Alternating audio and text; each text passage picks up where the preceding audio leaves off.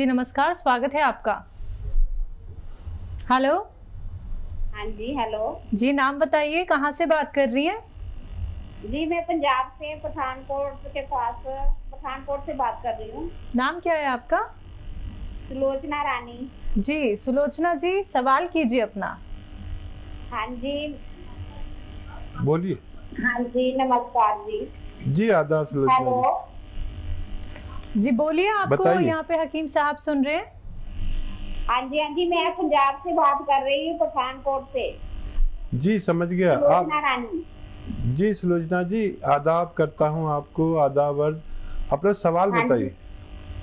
Doctor साहब मेरा ना काफ़ी तीन चार साल से ना घुटनों में दर्द है। ठीक है एज बताइए एज। मेरी एज साठ साल की हो गई है।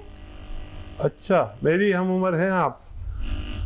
को कोई परेशानी की बात नहीं इस उम्र में तकलीफ़ हो सकती है किसी को भी ये कोई बड़ा रोग भी नहीं है अगर आप उसका सही इलाज करें। और बहुत बार बताता हूँ एक ही प्रोग्राम में ये बहुत मशहूर चीज़ है और बहुत नकली मिलती है बहुत कड़वी होती है। असली वाली लेना गौन स्याह यानी काला गौन। काला अ, ले लीजिए रॉ मटेरियल लेना पिसा हुआ बिल्कुल मत लेना। और असली लेना, नकली मत लेना बिल्कुल भी। देखिए, ये 100-200 ग्राम खरीद लें, इसको पाउडर बना लें घर पे।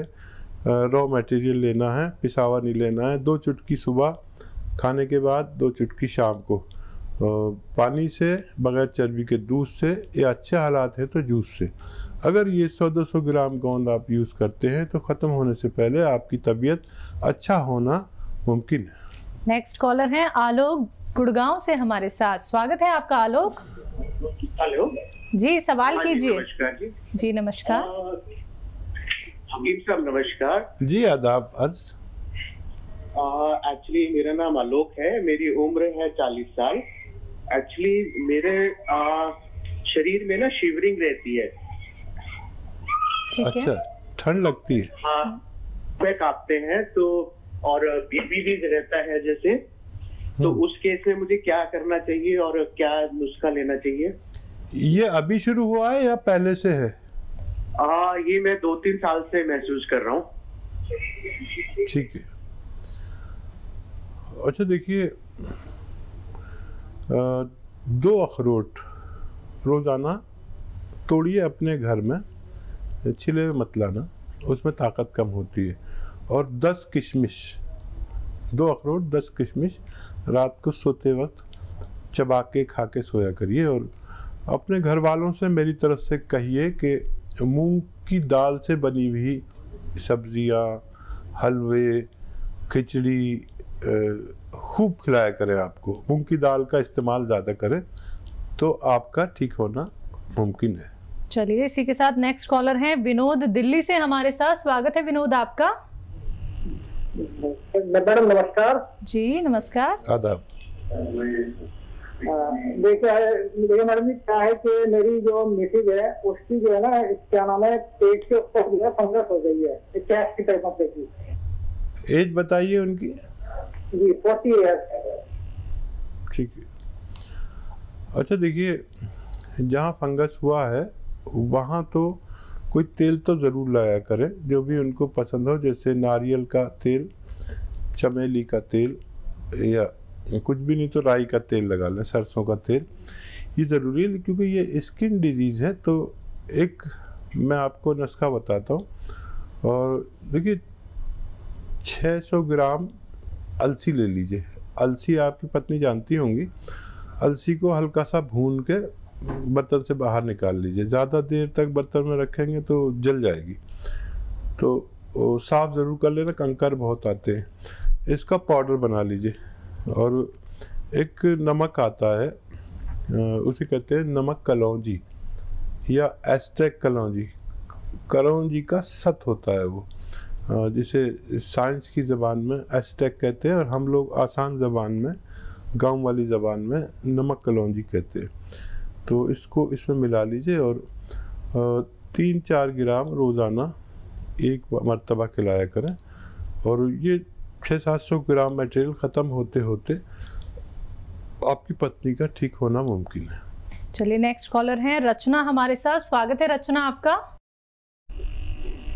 हेलो हेलो मैम मेरी एज है ट्वेंटी फोर ईयर ठीक है। मेरे पूरे बॉडी में जलन होती है और चिंटी सी चलती रहती है। एक सर मुझे पहले मतलब पहले तो यहाँ पे लेटरिन के रात में खुजली होती थी और जलन होती थी। धीरे धीरे वो पूरी बॉडी में होने लगी तो अभी भी एक दो साल से तो कम हो गई अभी फिर से तेज हो गई। पता नहीं क्या होता है और जलन होती है जैसे शरीर जल रहा है। अच्छा बच्चा उम्र बता दीजिए अपनी। सर चौबीस साल। ठीक है। अच्छा देखो ये नुस्खा बता रहा हूँ आप लिख लो आप पढ़े लिखे बच्चे हो पेन कॉपी है आपके पास? देखिए सौ ग्राम अलसी सौ ग्राम अलसी सौ ग्राम धनिया सौ ग्राम सौंफ सौ ग्राम सौंठ और सौ ग्राम नमक कलौजी। कलौजी का नमक को कहते हैं नमक कलौजी। नमक मतलब एस्टेक होता है कलौंजी का। ये इसमें मिला दीजिए। इसका पाउडर बनाइए और रोज़ाना एक चम्मच तीन चार ग्राम खा लिया करिए। ये सब ख़त्म होते होते मटेरियल आपको पूरी तरह फ़ायदा मुमकिन है। चलिए अगली कॉलर हैं। पूजा बिहार से हमारे साथ। स्वागत है पूजा आपका। हाँ मैम नमस्ते। नमस्ते। जी मैम मैं बिहार से पूजा मिश्रा बोल रही हूँ मेरे पति का एज थर्टी टू ईयर्स है। ठीक है। हाँ जी मैम उनके ना एड़ी में क्या है कि दर्द रहता है। हम्म। हाँ तो ठीक। है जी। और नमस्ते डॉक्टर साहब। जी आदाब। मैं समझ गया आपके पति मेहनती आदमी है क्या? आपके पति बहुत? नहीं है मतलब वो गवर्नमेंट है तो आने जाने से थोड़ा काम ज़्यादा रहता है तो एड़ी में दर्द रहता है। अच्छा बेटा, देखो, ये दर्द बहुत अच्छा किया आपने फ़ोन कर लिया। दर्द होते हैं और आदमी ऑपरेशन तक करा बैठता है। ये बहुत आसानी से चला जाता है। महीना, दो महीने में ख़त्म हो जाता है। और फिर मुद्दतों तक नहीं आता। किसी को भी एडी में दर्द हो एड़ियों में दर्द हो, घुटनों में हो, कमर में हो, जोड़ों में हो, एक अच्छा नुस्खा मैं बहुत मशहूर है, मैं बताता हूँ। और वो असली लेना गोंद स्याह, यानी काला गोंद मिलता है। असली लेना नकली बहुत मिलता है, कड़वा बहुत होता है और नकली बहुत मिलता है। ये सौ दो सौ ग्राम खरीद लें और इसका पाउडर बना दें घर में। रॉ मटेरियल लेना, पिसा पिसाया नहीं लेना और जाँच करके लेना, कड़वा होता है बहुत ज़्यादा। और महँगा भी मिलता है, दस बारह रुपये रोज़ की खुराक होती है, दो टाइम की। तो इसका पाउडर बना के आप दो चुटकी सुबह और दो चुटकी शाम। उन्हें खिला दिया करें, या फिर गोलियाँ बना, चने या मटर के बराबर, एक गोली सुबह, एक गोली शाम खिला दें। ये ख़त्म होते होते आपके पति बिल्कुल अच्छे हो जाएँगे, ऐसा मैं उम्मीद करता हूँ। और अपनी हर एक समस्या का समाधान जानना है, कोई भी रोग अगर आपको लगता है लाइलाज हो चुका है तो एक बार हमसे जुड़िए, हमारे कार्यक्रम से जुड़िए। इसी के साथ नेक्स्ट कॉलर जुड़ गए हैं, उनसे बात कर लेते हैं। जी नमस्कार, स्वागत है आपका। सौरभ, स्वागत है आपका। हेलो हाँ जी। हाँ नमस्कार। जी नमस्कार। आदाब बताइए। हाँ हकीम साहब। जी जी फरमाइए। हाँ सर मेरे को बीपी अस्थिर है मेरी। ठीक है। नहीं समझ में आ रहा। बीपी आपकी हाई है? कभी हाई होती है कभी लो होती है। ठीक है। अच्छा अच्छा उम्र बताइए भाई। उम्र फिफ्टी ईयर। पचास साल। ठीक है ठीक है। अच्छा देखिए बीपी और ये उम्र 50 प्लस 45 प्लस यहाँ पर ये सारी समस्याएँ सभी लोगों के साथ आने लगी हैं चाहे कोई भी हो। तो इसके लिए एक नुस्खा है और वो बड़ा कारगर है लेकिन आपको खुद बनाना है। आ, आपके पास कॉपी पेन है तो आप लिखें। वैसे तो आसान है याद भी कर सकते हैं लेकिन अगर आपके पास कॉपी पेन है तो लिख लीजिए। देखिए नींबू नींबू अच्छा वाला आ, ये जो आप लेते हैं ना पीला पीला कागज़ी नींबू जिसे कहते हैं कागज़ी नींबू एक लीटर जूस निकालिए अदरक का एक लीटर जूस निकालिए लहसुन का एक लीटर जूस निकालिए और जैतून का सिरका एक लीटर ख़रीदिए अच्छा किस्म का बाहर का। जैतून का सिरका ऑलिव विनेगर जैतून का सिरका इन सबको मिक्स कर दीजिए। तीन चम्मच सुबह नाश्ते के बाद तीन चम्मच रात को सोते वक्त खाने के बाद पानी से आप ले सकते हैं।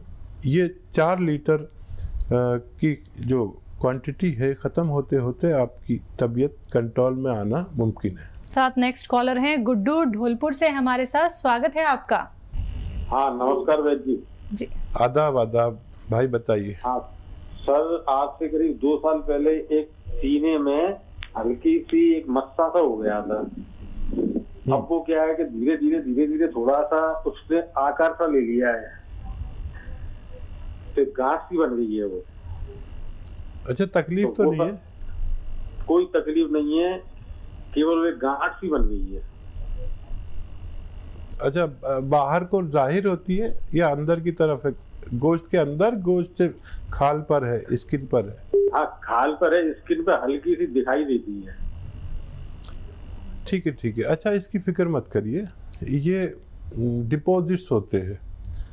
यानी जितने भी लोग हैं हेल्दी किस्म के उनके होते हैं लेकिन पेट में होते हैं किसी किसी के सीने पर भी आ जाता है। तो उसकी बिल्कुल परवाह मत करिए और उसका कुछ वो भी मत करिए। इलाज एक घरेलू इलाज ऐसा कर सकते हैं कि आप हल्दी का सरसों के तेल में एक लेप सा बना के रोज़ाना उस पर रख के और कोई मोटी सी रोटी ज़रा सी बना के जो गरम सी रहे गरम गरम रख यहाँ पर रख के रोज़ाना रात को सो जाया करें और सुबह को उसको रिमूव कर दें।